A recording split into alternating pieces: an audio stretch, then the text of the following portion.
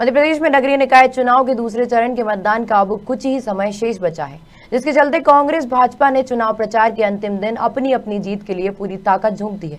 वहीं बात करें शाजापुर ज़िले की अकोदिया नगर परिषद की तो यहाँ वार्ड क्रमांक तेरह से भाजपा प्रत्याशी नरेंद्र मेहता ने तूफानी जनसंपर्क कर मतदाताओं से जीत का आशीर्वाद लिया है।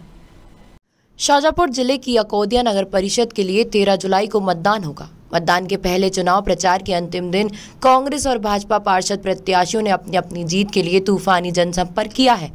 मतदाताओं से जीत की अपील की है।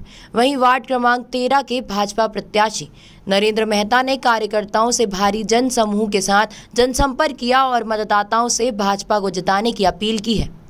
सम्मान्य मतदाता बंधुओं, आने वाली तेरह तारीख को वार्ड क्रमांक तेरह से मैं नरेंद्र मेहता भारतीय जनता पार्टी प्रत्याशी के रूप में आपके सामने हूँ।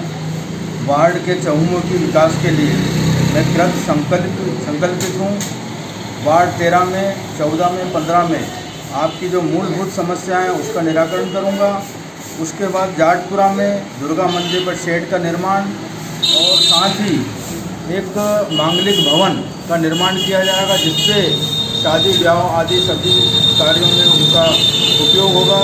और भी जो भी योजना है, प्रधानमंत्री आवास योजना, ये सभी योजनाओं का लाभ आपको जो है कि नगर पालिका में नहीं आना पड़ेगा और घर बैठे आपके सारी सुविधाएँ प्रदान करूँगा। इसी के साथ आपका सहयोग, समर्थन, आशीर्वाद हमेशा मिलता रहे। इसी आशा के साथ धन्यवाद।